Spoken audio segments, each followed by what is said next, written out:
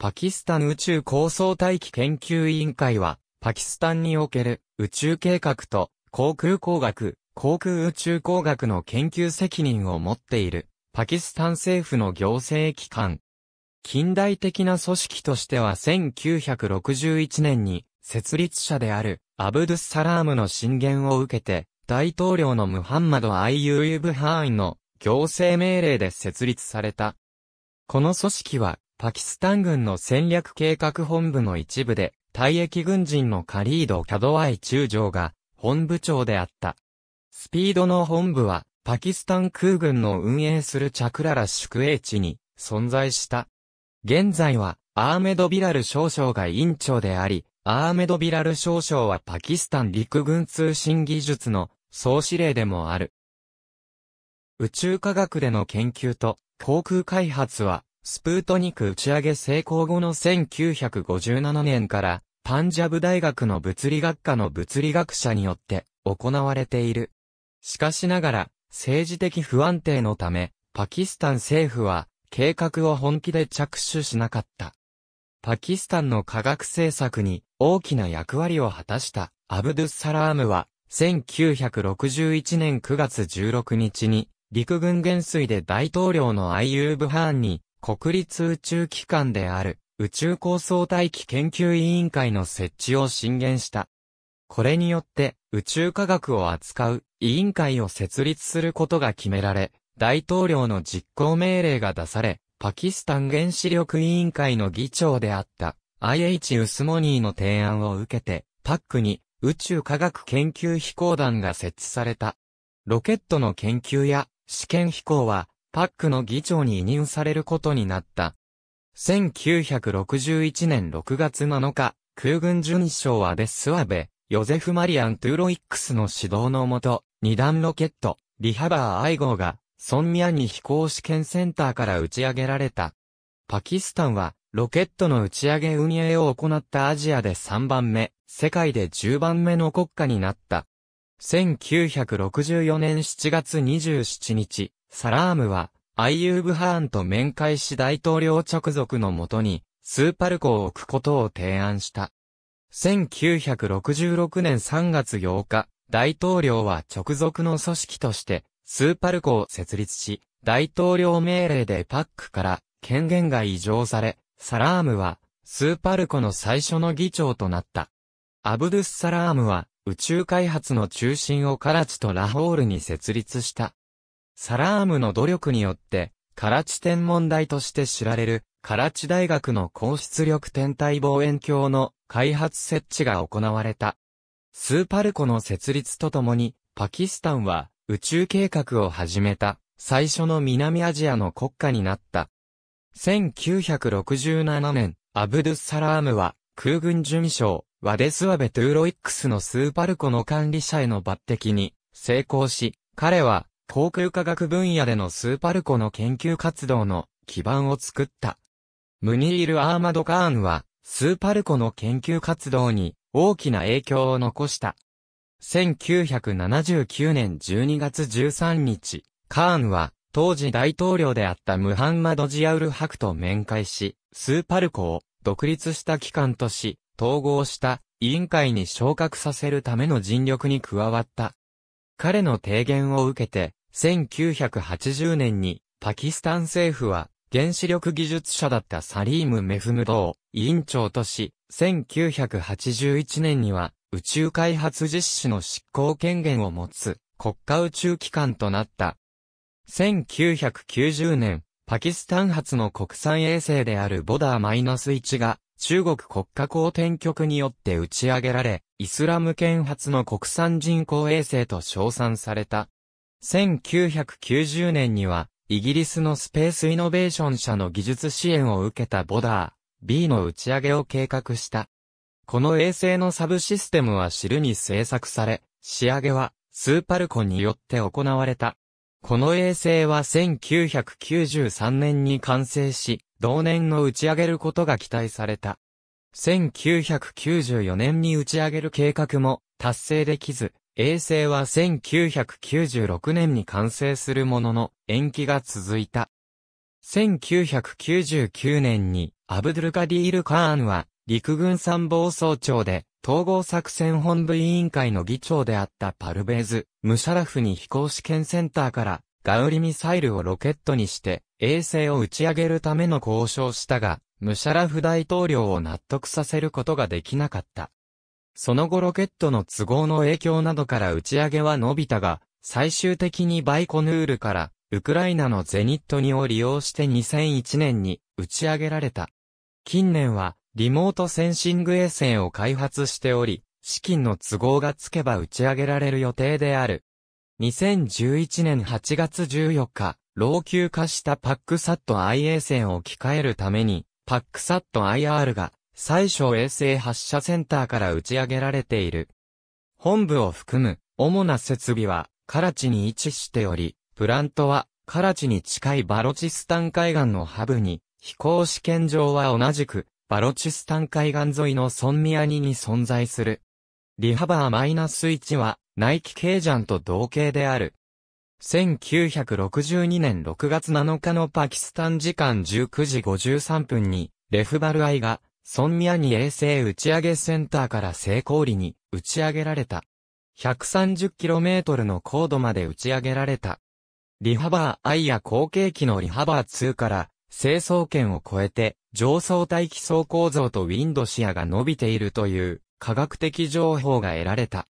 このデータ集積は、雲の形成、サイクロンの研究やアラブ海と、沿岸地域であるパキスタンを覆う天候の研究を助けた。同様の実験は数年間行われた。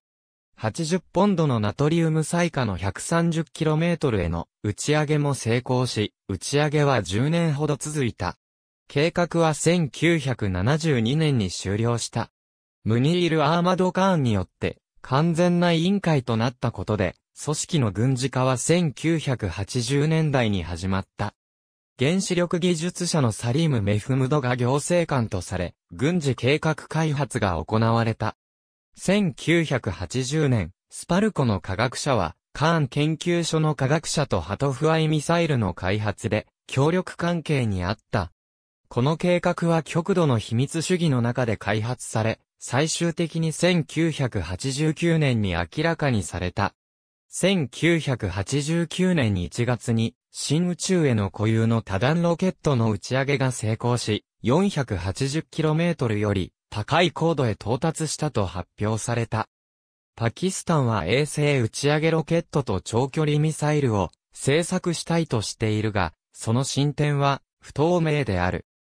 1981年にはスーパルコの議長が1986年に打ち上げ機の試験を行う計画を発表し、パキスタンの報道は1989年の初期に多段式ロケットが 150kg の最下を 600km 以上の新宇宙に打ち上げに成功したと報告した。スーパルコの科学者は後にシャヒーンミサイルシステムの開発に参加している近年、スーパルコはすでにシャーパーとラクナムの2つの高高度超音速観測ロケットを試験している。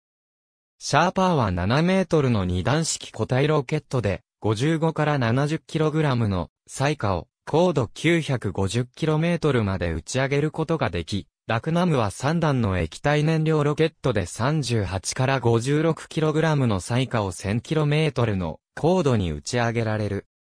これらのロケットは両方とも速度マッハ6.1を超えている。パキスタンは1998年頃から衛星、打ち上げロケットの開発の集中を始めた。2011年3月大統領の科学顧問、アブドゥルカディール・カーンは、パキスタンの航空宇宙科学者が、国家の最初の衛星打ち上げロケットの製作の一般的過程の途中であり、この計画にスーパルコが協力しており、ボダー衛星も組み立てていると公的に宣言した。アブドゥルカディール・カーンはインドが打ち上げや衛星生産の技術で急速に発展していることを独自の打ち上げロケット開発のための他の動機として言及した。当時スーパールコの議長であったアブドゥル・マジドはカーンの声明を確認し、パキスタンは低価格の SLV と極軌道衛星、打ち上げロケットが低軌道での軽量の衛星の打ち上げに食い込むことを想定しており、カーンも、パキスタンは、非常に力強い中距離弾道弾を持ち、これによって、静止衛星の打ち上げが可能である。パキスタンがしなければならないことはターゲットから、デリーやカルカッタを外し、宇宙に向けることである。ミサイルには、水素爆弾や核爆弾より、衛星の方が簡単に乗せられる。と加えている。としている。2005年3月、ムシャラフ大統領は独自の打ち上げロケット分野での新たな研究と開発を認可し、国産衛星計画であるパックサット IR の軌道への打ち上げを可能にした。アイディアズ2002の間、パックデフ防衛展示会で2台の衛星、打ち上げロケットにスポットが当たった。最初のモデルとしては3段の SLV が指摘された。SLV に類似した他のものから判断すると、450から 490km の高度に80から 100kg の重さのペイロードを積めると見積もられた。しかしながら必要なデータが知られていなかった。第2のモデルも最初のモデルと似ていたが、4つの追加ブースターを持つものであった。SLV 技術を持つ多くの国は、ミサイル技術からブースターを開発していた。パキスタンも弾道ミサイルを開発しており、それに基づくことのできる第2のモデルのブースターは正当に推測された。2006年8月、首相であったシャウカト・アジーズは中華人民共和国公式訪問の後、スーパルコの科学者と技術者の会合を招集し、ここで、首相はスーパルコの科学者から、両方の SLV 計画の状況について説明が行われた。現在まで、この計画の状況ははっきりと知られていない。2009年8月18日には、サマール・ムバーラク・マンドはパキスタンは2011年4月に国産衛星を打ち上げると報告し、今位のアナリストに全てを明らかにしたように見せた。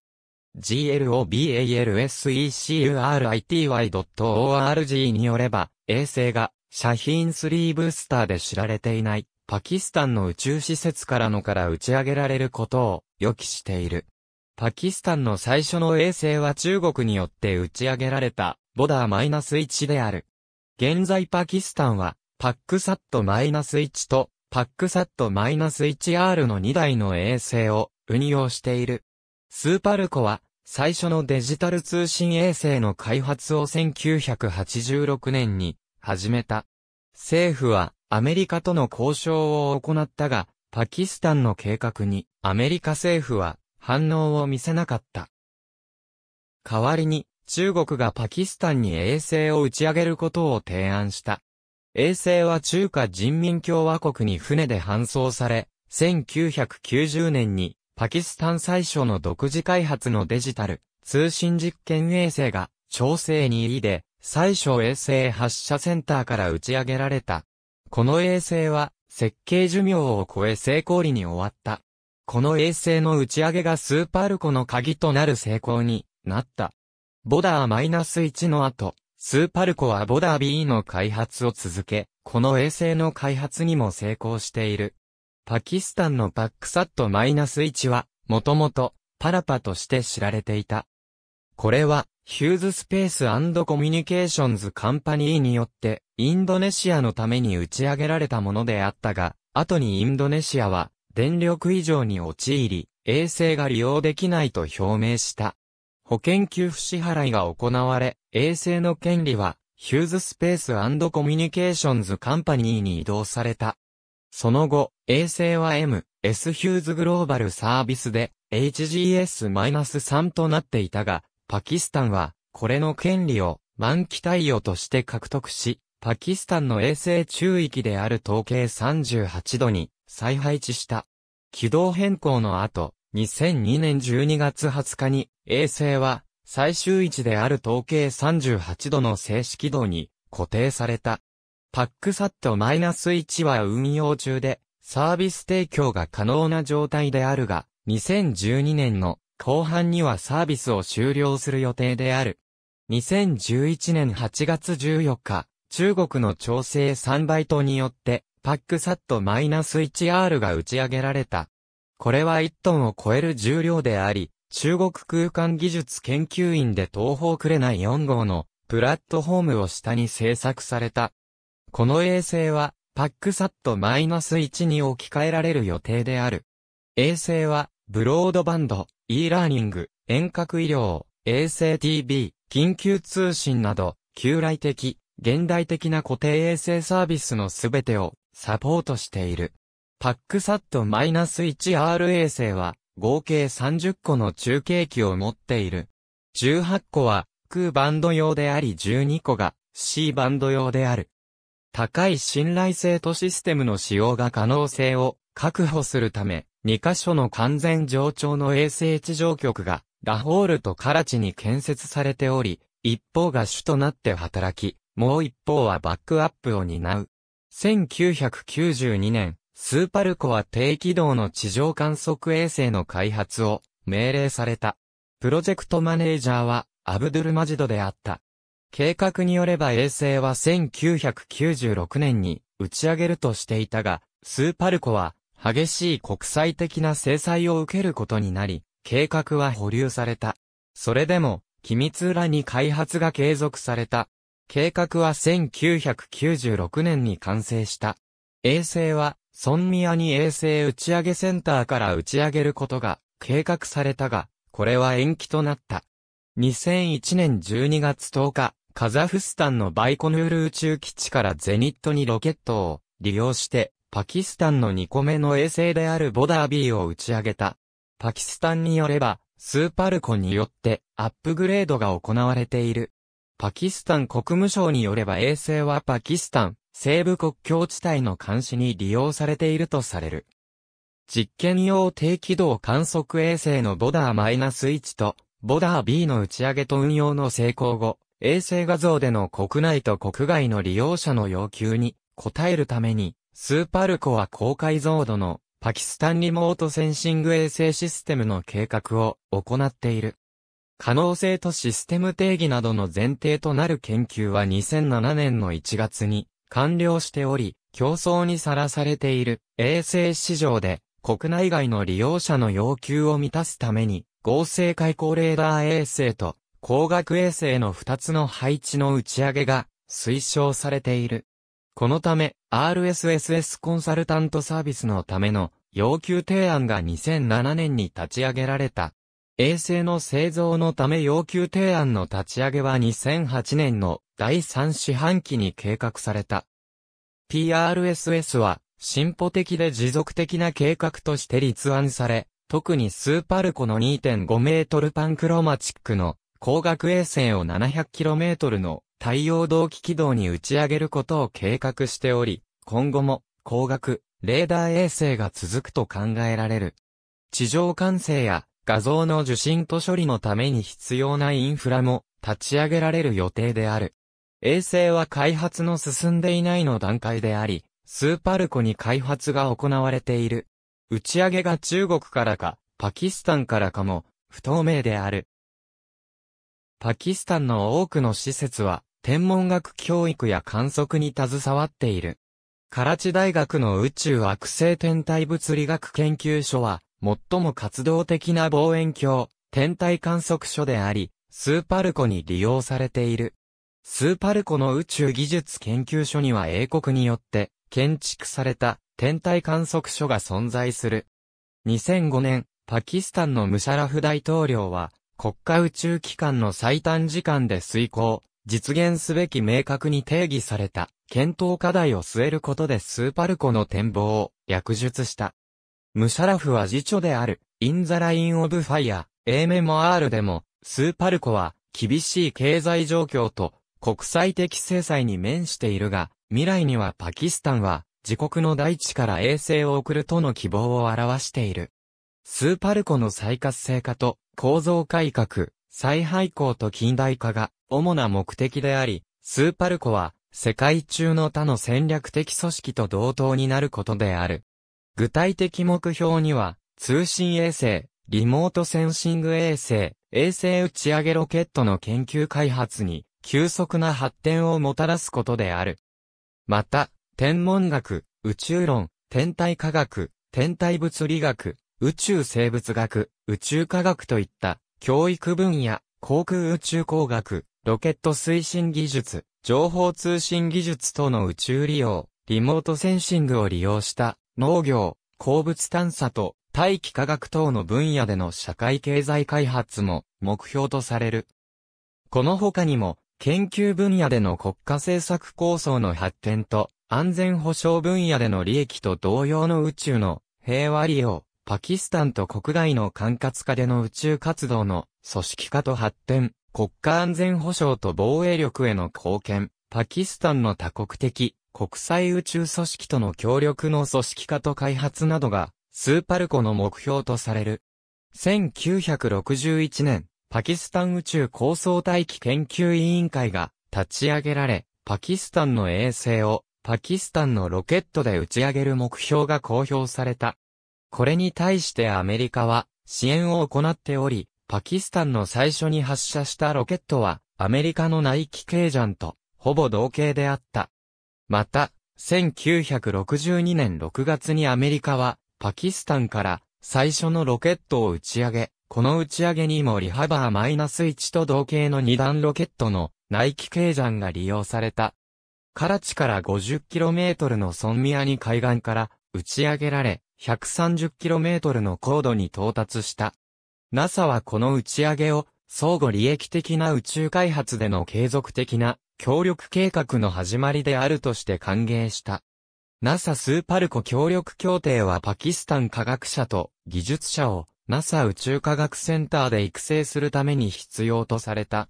1962年の打ち上げの前、NASA はワロップス島とゴダード宇宙飛行センターでパキスタンの科学者の育成を始めた。NASA は先進的な訓練と経験のために、アメリカの大学での研究交流計画と団体を設立した。その後 NASA との協力は1970年頃まで続いた。2006年の8月、中国は3台の地球資源衛星を次の5カ年のうちに打ち上げるためにパキスタンと行動することを約束した。2007年5月、中国は戦略的パートナーとして、パキスタンと宇宙科学技術の分野で協力を強化する協定の調印に合意した。パキスタンと中国の宇宙産業での相互協力は、気候科学、クリーンエネルギー技術、大気、地球科学、海洋科学など広範囲に及んでいる。中国のパックサット -1R の打ち上げを契機として、パキスタンの中国大使は中国に対して中国の宇宙船によるパキスタン宇宙飛行士の宇宙飛行へのパキスタン国民の自然な欲求を表明している。